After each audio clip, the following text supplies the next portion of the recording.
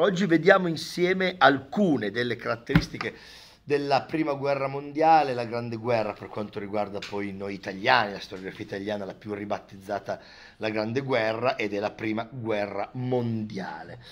La prima guerra mondiale è innanzitutto, punto primo, un evento periodizzante. Cosa vuol dire? Vuol dire che vi è un prima e un dopo la prima guerra mondiale, questo di tutti gli avvenimenti, vi è un prima e un dopo, ma in questo caso vi è un prima e un dopo nel senso proprio di mutamento, di cambiamento eh, radicale.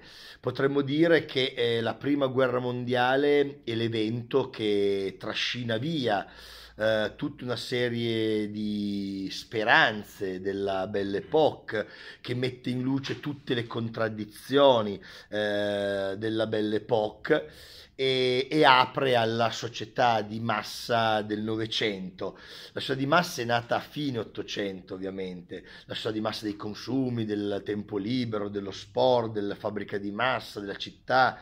Però quella società di massa che nasce a fine Ottocento ha una rappresentazione di massa mortale nella prima guerra mondiale. Come dire che la società di massa nascente si dà un appuntamento, ahimè in trincea, per dare vita al più grande e mortale spettacolo di massa che sia mai avvenuto nella storia. Ci sono decine di milioni di uomini in armi.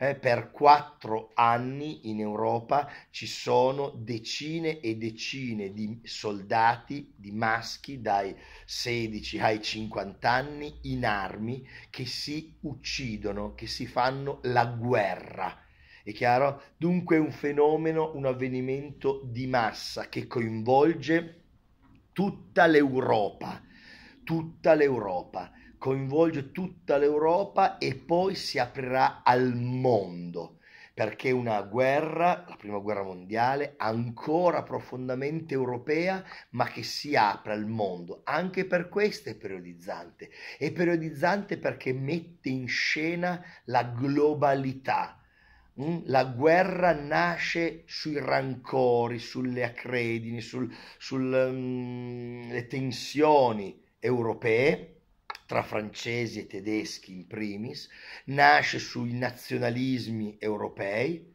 tedesco, francese, slavo, italiano, russo, okay, turco, nasce in Europa ma diventa mondiale, in modo particolare diventa mondiale perché c'è l'intervento decisivo, in gran parte risolutivo, degli Stati Uniti d'America mm, nel 17. Dunque gli Stati Uniti d'America entreranno la vecchia colonia diventata poco più di cent'anni prima Stato, Repubblica, Democrazia in, indipendente, la vecchia colonia inglese è diventata un grande Stato federale con una potenzialità bellica, economica di prim'ordine e questa grandezza la metterà in mostra, questi muscoli li metterà in mostra nella prima guerra mondiale.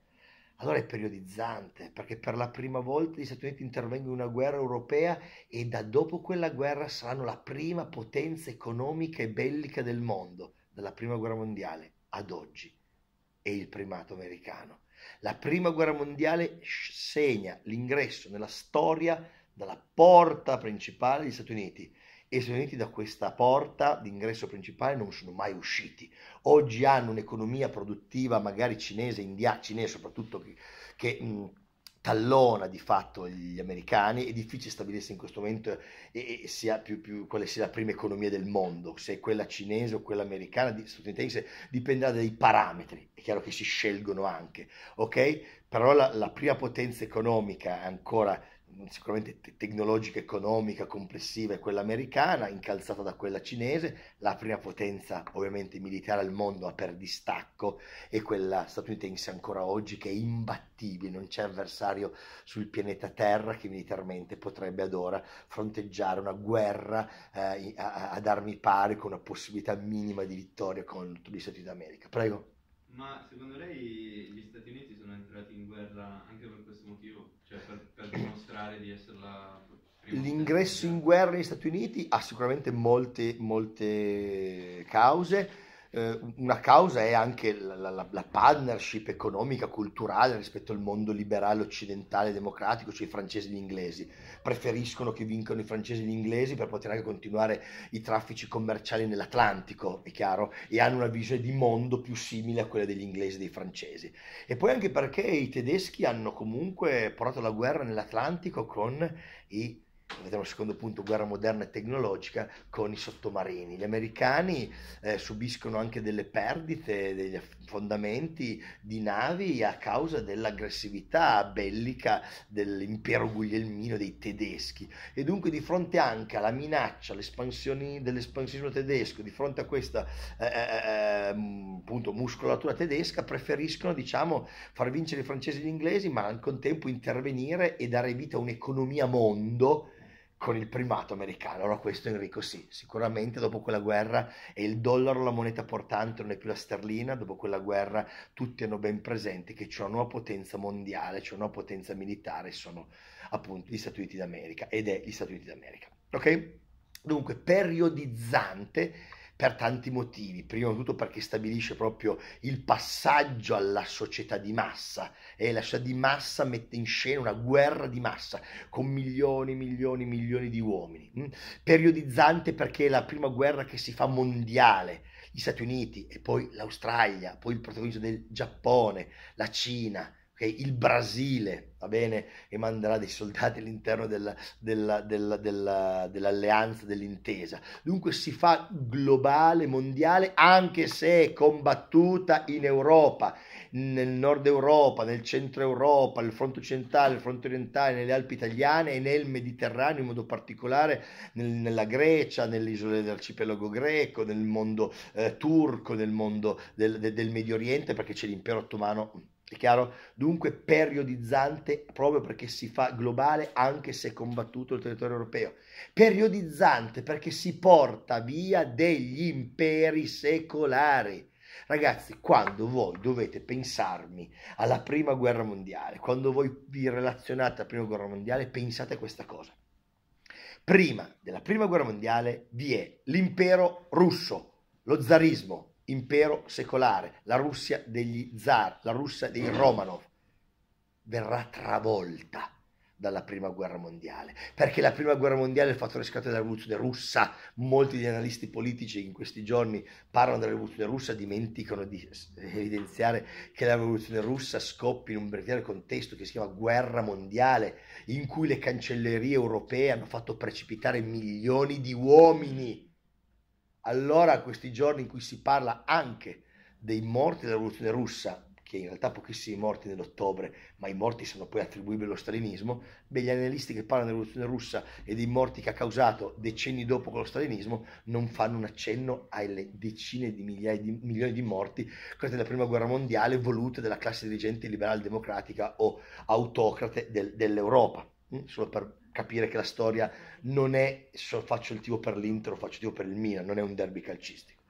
C'è l'impero uh, zarista, c'è l'impero guglielmino, quello tedesco, il vecchio impero tedesco, quello che da prussiano con gli Hohenzollern e attraverso quello di Bismarck e di Guglielmo II è diventato la grande Germania, potenza no, dell'acciaio, delle armi, rivoluzione industriale seconda inarrestabile.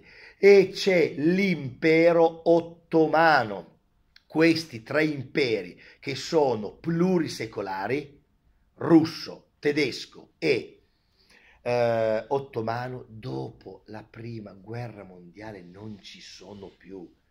Tra i cadaveri della prima guerra mondiale vi sono gli imperi.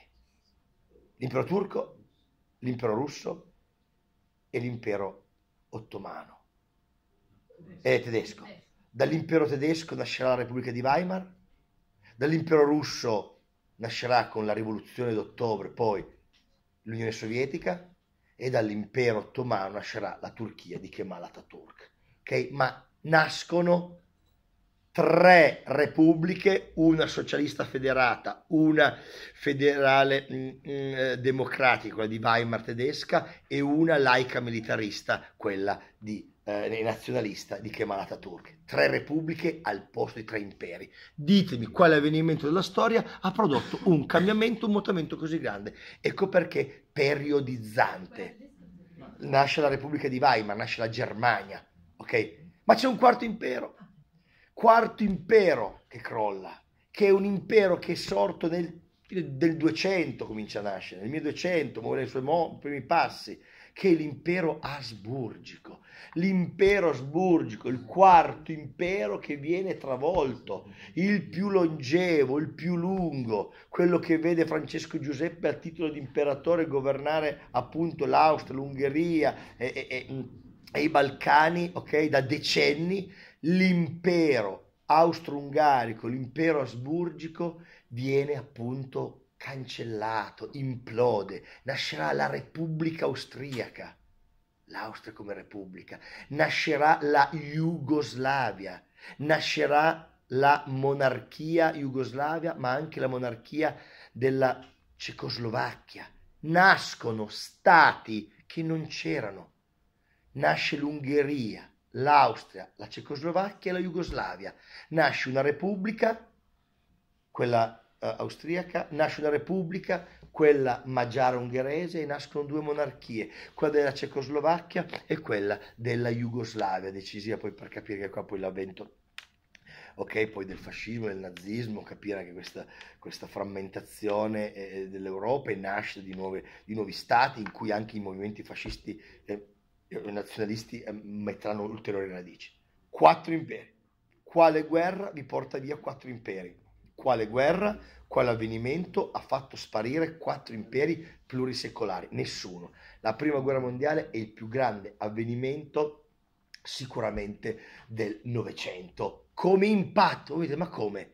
Ma il nazismo? Eh no, ma la seconda guerra mondiale, che ha più morti, che ha più drammaticità, non è una guerra che arriva così inaspettata e devastante con la prima guerra mondiale. Quando scoppia la seconda guerra mondiale e tutti sanno che deve scoppiare da anni, tutti sanno che sarebbe stata una guerra devastante, lunghissima, la cui portata avrebbe cambiato il corso ulteriormente del Novecento. Ma è molto semplice perché è la prima guerra più importante. Uno, perché l'impatto è più devastante perché nessuno si aspetta, tutti sono convinti, di vincerla. Due, perché porta via gli equilibri europei, anche qua plurisecolari. Tre, perché gli avvenimenti che innesca la prima guerra mondiale, tra cui la sconfitta e l'umiliazione della Germania e lo scoppio della rivoluzione russa, causano la seconda. Eh, andiamo ad Aristotele, le cause primarie sono superiori alle cause secondarie. È chiaro dunque che è ovvio che la, causa, la seconda guerra mondiale causa molte cose, ma la seconda guerra mondiale è stata causata dalla prima guerra mondiale, da tutte le contraddizioni che essa sviluppa, da tutte le contraddizioni che essa sviluppa profondamente. Dunque è periodizzante. Il Novecento, il secolo breve di Osborne, infatti, uno dei più grandi storici appunto inglesi di, di stampo marxiano del Novecento, ci dice il secolo Novecento è breve perché il vero inizio non è nel 1900, data importante perché esce la psicanalisi, l'interpretazione dei sogni di Freud e perché muore Nietzsche, ma nel Novecento, con questa botte per dirvi che non accade nulla di così significativo come guerre rivoluzioni di ogni tipo. Il Novecento, un anno come tanti altri dentro la Belle Époque. Il 1914 il colpo di Pistora mm, mm, di Gavilo Princip danno vita invece a un avvenimento che cambia per sempre il corso della storia dell'umanità, dell'Europa, proprio perché non ci sarebbe stata la rivoluzione russa, non ci sarebbe stato dunque il fascismo, il nazismo. Dunque la responsabilità anche dei gruppi dirigenti liberali, dicevo, o nazionalisti è molto grave nell'aver fatto scoppiare la prima guerra mondiale. Dunque periodizzante, il Novecento con tutte le sue contraddizioni inizia con un avvenimento di massa, dentro sé di massa, ma che un evento di guerra di massa, di morte di massa, di mobilitazione di massa. È chiaro? Prima guerra mondiale come elemento periodizzante. L'Ottocento non si è chiuso nel 1899 il 31 dicembre, ma l'Ottocento è finito nelle trincee l'Ottocento è finito nei gas, l'Ottocento è finito nei trattati di Versailles, di Parigi Saint-Germain negli anni, negli anni eh, successivi, 1919. È chiaro? Secondo, non riesco a vederne magari tre di caratteristiche oggi è una guerra moderna. Cosa vuol dire che è una guerra moderna? E i film che dovete vedere in Orizzonte di Gloria o dentro il fronte occidentale oppure la Grande Guerra ve lo mostrano. Perché una guerra moderna? Perché viene combattuta con armi moderne. E su tutte io vi ricorderei, ne ricorderei due, sono tante le armi moderne, ma la mitragliatrice è quella mitragliatrice che i futuristi esaltano, soprattutto quel Marinetti che dice no, è quasi come una musica soave, ma Marinetti in questo è abbastanza no, mm, mm, poco attendibile, personalmente un po' un cialtrone, questa è la mia eh, opinione, perché definire la mitragliatrice un suono soave perché non stai morendo al fronte ovviamente, ma la stai astraendo come emblema della, moder- della modernità. Eh? Però la mitragliatrice è moderna perché? Perché sono tantissimi colpi al minuto, non è più un tamburo da caricare con sei colpi, un fucile con otto colpi, va bene? Hai già delle armi automatiche che sparano, ma che in questo caso possono sparare a ripetizione 100 colpi, 150 colpi. Allora c'era cosa c'era della modernità che è di morte. Soldato, tu, tu, tu, che spara, ok? Poi a fianco chi avete? Avete un altro soldato che regge, che regge ovviamente mm, le, le, le proiettili, i grandi cinturoni di, di, di, di battaglia. Okay? Cosa? Ce n'erano, vabbè, rispetto alla seconda, anche qua di meno, ma appaiono. E soprattutto c'era l'obbligo poi di continuare, moriva quello che sparava con la mitragliatrice, l'altro doveva, continu- doveva continuare, vedi la modernità e l'organizzazione. Poi ricordatevi la mitragliatrice che è portatrice di morte a ripetizione quando eri sotto il fuoco di un mitragliatore dentro la trincea eh, o nel no man's land tra le due trincee, era finita. Allora bisognava innanzitutto cercare di sparare a quelli che usavano il mitragliatore, andare all'assalto dell'altra trincea e focalizzare soprattutto nel punto in cui c'era il mitragliatore. Che modernità è? La modernità della tecnologia, ma la modernità in questo caso di morte. Poi a Ypres no? viene, da cui Prite viene sperimentata per la prima volta un'arma chimica contro degli uomini. A Ypres, che è tra il Belgio e la Francia, in Belgio, ok? Nel fronte occidentale dunque, i tedeschi scaricano barili di questo agente chimico che si chiamerà iprite dentro le trincee dei francesi, degli inglesi.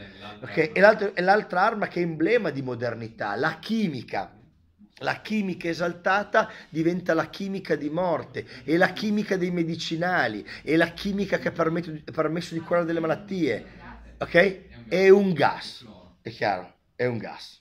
Ma qui abbiamo lui che è un po' esperto di armi, non vorrei che nel suo stanzetto a casa sua è scassinatore, non vorrei che questa vita... Stiamo registrando, non, non diciamo il nome di chi sei, ok?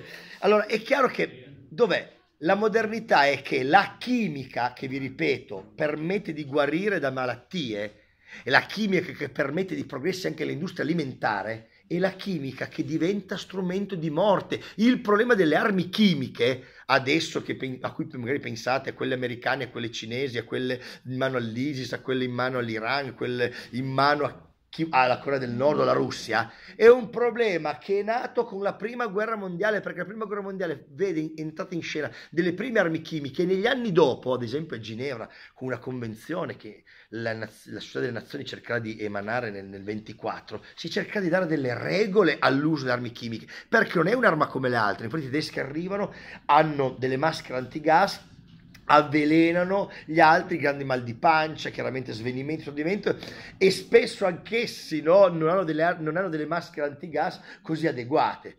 Moderna perché le armi sono moderne, perché la tecnologia è moderna, è moderna nel modo di essere combattuta, ma poi il risultato è la morte. Il, dunque, un altro aspetto è questo della prima guerra mondiale, è moderna, ma la modernità questa cosa è la cosa a cui tengo di più di questa lezione. Non è sempre positiva. La modernità porta con sé aspetti positivi e aspetti negativi, perché dipende da come la si usa la modernità. Lo smartphone dipende che ne uso ne fai. Non è che di per sé lo smartphone è una modernità positiva, è una modernità. A cosa lo usiamo fare? L'automobile, il treno, l'energia nucleare e modernità, a cosa lo usi a fare? A sganciare delle bombe su Nagasaki o Hiroshima o produrre dell'energia? Detto che anche questa fonte di energia ha molte problematiche perché basta un incidente, una centrale nucleare e muoiono ok decine di migliaia di persone. Dunque tutti quelli che vi dicono è moderno, nel momento in cui dici è moderno, tutto quello che non lo è vecchio, ma non è detto che il moderno porti con sé solo positività. La modernità della prima guerra mondiale ha messo in luce il lato B della modernità stessa, perché la medicina può essere fatta a fin di bene o a fin di male, la chimica a fin di bene, a fin di male. Posso arrivare un domani a Mengele e a vedere gli esperimenti del dottor Morte nelle baracche dei campi di sterminio. Quella medicina lì, quella su cavi umane, zingari, omosessuali ed ebrei e la medicina moderna fin di bene. Ma perché poi ci sono quelli che oggi, no, studenti che, eh professore, però grazie alla medicina nazista si sono fatti dei progressi. Certamente c'erano degli uomini che avevano sul loro corpo le sperimentazioni dirette di questi agenti chimici, li prendevi e li buttavi via. E, e la modernità quella allora, è moderna nel senso che la tecnologia è moderna, c'è razionalità in questa guerra, nell'organizzazione della guerra, ma è una razionalità, una modernità che contengono dentro di sé il problema della vita umana o della natura considerati come mezzi. Questa è una modernità non moderna, se tendiamo per modernità, giustizia, libertà, uguaglianza, fratellanza, come i, i temi della modernità della luce francese. Allora, è modernità tecnologica, è modernità razionale, ma non è modernità della vita umana, dei diritti. Non è facilissimo, facendo poi con voi un po' di filosofia del Novecento, su questo tema ci torno, soprattutto facendo la scuola di Francoforte. Oh, eticamente, quindi... Eticamente, bravo. Okay? Non c'è una razionalità etica, morale, valoriale, c'è solo una razionalità tecnica strumentale. E le razionalità tecniche strumentali potrebbero anche essere di questo tipo. Ma guarda, mm, se per far funzionare meglio il Giordano Bruno mm, servirebbero 100 studenti in meno, va bene, facciamo sì che 100 studenti non si iscrivono più in che modo? Bocciandoli. Ok? Può essere una, potrebbe essere una razionalizzazione, perché io decido di far funzionare meglio perché ci ho 100 posti in meno ok, la mia fabbrica funziona meglio se ci sono 30 dipendenti in meno, li licenzio, è una sport razionale, poi c'è la vita dell'altra persona. È chiaro? Cosa vuol dire? È razionale ehm, costruire qua una diga e i villaggi che abitano qua li, li, portiamo via, li mandiamo tutti questi abitanti a vivere in città. Ma io vivrei qua in natura, qua facciamo una diga, mi spiace per te, sei contro la modernità è problematica almeno la modernità, prendetela come problematica. Quanti minuti ho? 5. 5, allora ci sta solo più l'ultimo punto, che è il terzo, è una guerra ideologica. Anche su questo punto ci tengo molto perché, a questo punto tengo molto, perché la prima guerra mondiale è una guerra che spesso viene derubricata come non ideologica perché è paragonata e confrontata alle guerre più ideologiche, qua è la guerra civile spagnola tra repubblicani, comunisti, socialisti, anarchici contro fascisti, nazisti o franchisti, eh, o la seconda guerra mondiale, no? comunisti, socialisti da un lato, poi socialisti, comunisti, eh, liberali, democrazie, nazisti, fascisti, cioè prendiamo le ideologie socialismo, comunismo, liberalismo, democrazia, nazismo e fascismo. È la guerra delle ideologie. Qual è la seconda guerra mondiale? Attenzione, e qua dovreste già saperlo. La prima guerra mondiale è ideologica perché vede contrapposte due idee anche di civiltà. La cultura tedesca, la cultura degli imperi centrali, la Kultur, il popolo, das Volks, la terra, il sangue, le tradizioni, uno Stato e proiezione di un popolo che ha una cultura delle radici, la cultura tedesca, contro gli ideali liberali, la civilizzazione, abbiamo detto, laica, francese, inglese, illuminista, liberale, democratica. Da un lato l'Europa degli imperi, la tradizione, la forza, la lingua, la terra, dall'altro l'Europa dei lumi, del commercio, del, del liberalismo, della laicità. L'Europa che ha due idee di modernità diversa, la modernità della comunità tradizionale valoriale, la comunità invece più liberale, individuale, economica. O così viene presentata dai tedeschi e così viene presentata dai francesi. Cioè le due comunità si auto anche rappresentano diverse e celebrano, criticano, rappresentano l'altro come diverso. È la guerra dell'Europa centrale contro le potenze del vecchio colonialismo. È l'Europa delle nuove potenze, Austria, mm, eh, Germania, contro, ok? Che vogliono nascere contro le vecchie potenze che hanno per secoli dominato l'Europa e il mondo, l'Inghilterra e la Francia. Dunque c'è l'ideologia di mezzo. Noi siamo francesi, francesi portava con sé tutta una serie di valori, noi siamo tedeschi e dire questo portava con sé tutta una serie di valori. È chiaro? Dunque i primi tre punti, le prime tre caratteristiche della prima guerra mondiale sono i seguenti. Periodizzante, cioè chiude l'Ottocento come lungo secolo e apre il Novecento come secolo diciamo più breve, ok? Che va dalla prima guerra mondiale al crollo del muro di Berlino e all'implosione dell'Unione Sovietica. È una guerra moderna perché c'è la razionalità, la modernità della tecnologia, delle armi. Ah, dimenticavo i treni! La modernità dei treni, portare al fronte soldati, portare al fronte armi, vengono costruite linee ferroviarie apposta per raggiungere le zone di guerra, la modernità. Il treno corre sulla modernità, la modernità corre sui binari della ferrovia.